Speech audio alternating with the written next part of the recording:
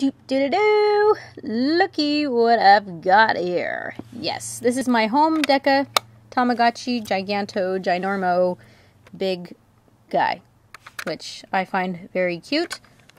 When I will tell you right now, I recommend it.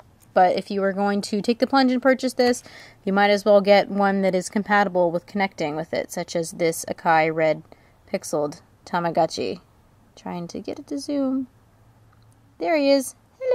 Sorry if you can see my reflection. I can't really avoid that. My fingers look like crap. Sorry.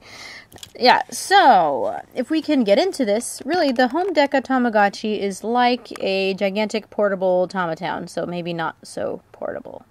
But that doesn't really matter. What's neat is that you can see the screen, and I understand why they made it so big, so you can really get the effect of all the features on this. It wouldn't be very fun on this itty bitty little screen. You couldn't fit, fit all the pixels and details. So, if I can start off here, we're going to show you the menu screen. I'm going to try to do this quite fast so that it doesn't take, I don't know, 10 minutes. So you've got six icons here. This is like your basic Tamatown, like the website. You've got your house, which is expandable. You can buy items and upgrade them, which is quite neat for your little character. Um, so that's kind of your little underlying uh, aspirations in life. Then you've got your bank account. You've got your game center, you've got your store, which is like on any Tamatown, you can go and purchase things and transfer them. You've got your school, which you can just talk back and forth to characters. I can't understand Japanese, so it's not all that engaging for me. But if you can do it, that's fantastic. And then you've got your kingdom, which you go and you talk to the Tamagotchi king, and he picks who's the best one, and it shows the spotlight, and then somebody gets money. I'm not quite sure what that cultural. I don't know what that is about. Maybe you guys know. So let's start off with what's important here. So you've got your little red dude, and really what you're able to do is transfer items back and forth. So if I can start with the bank, so we got the bank.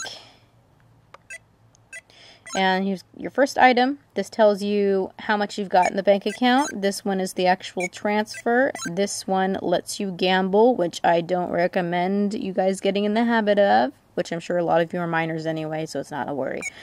There we go. So let's just say that I want to transfer, nah, I don't know, like 40 Tamagotchi dollar things. And we'll go on to the actual Tamagotchi toy here. And if you can get it in focus thing, you scroll over to the heart and you go to the third one down, which is preset, and it automatically recognizes it pretty quickly. So it transfers a package. It says, Yay, I now have money to spend my life away. And he jumps up and down. Okay, so you are able then to either purchase more food on this actual unit itself, or you can go back and purchase items in the store on here. So let's take a look at how much money that we've got. It's 270 dollars. Yes. So actually, let's go all out and send more money so we can do a pretty good example. Yep, yep. Uh, yep, yep, 90. Go on here transfer. You can see. There it is. $90. So, as we're waiting on this, there's actually some pretty neat arcade games that you play on here, and it's pretty liberal. It gives a lot of money, which is a lot easier than doing the games on here. If you guys want a separate another review for this, you can actually check out the review I'd done previously. It's somewhere in the sidebar here. I did do it at one point. And now, let's go back on here. Let's go back to the home screen, and we will go now to our shop. So go into the shop. It's brightly running happily. Yay! Gonna go spend more money. Okay. And so here we have three items. And this one is to transfer onto the toy. The rest of these down here are just items that you can purchase and expand on the actual home Dekatama, and that's a house upgrade, which I was telling you about earlier. So, okay, So this this is just what happens to be up at the moment, but this is a special items. This is only for specific characters. So you can see I have the ninja. So if I select it, you can see lets you scroll through and pick only character specific items. This is some type of medicine and remedy. This is like train tickets or plane tickets or whatever travel. Um, this is purchasing palaces or something. I'm not exactly sure. This is a food shop. This is your treat shop. And this is another items that you can purchase, just like you would if there was a store on here.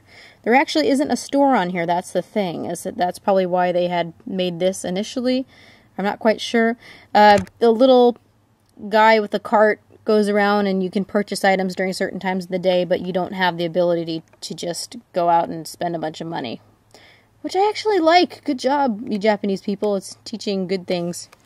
Uh, so, here we go.